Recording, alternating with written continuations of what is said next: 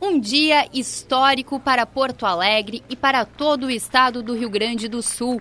Na manhã desta quinta-feira foi lançada a pedra fundamental das obras de expansão do aeroporto de Porto Alegre. Esta pedra fundamental simboliza muito mais que o início de uma obra.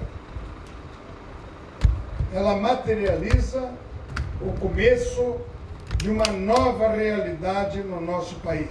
É uma obra muito esperada, muito desejada, mas que cada vez que dá um passo como este, da pedra fundamental, com certeza esta obra está mais próxima da esperança de todos os gaúchos.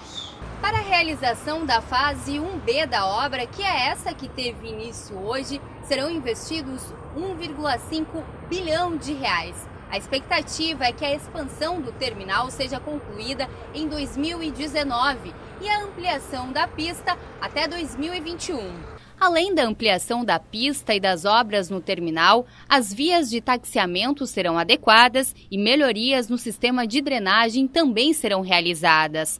Um aeroporto moderno e eficiente.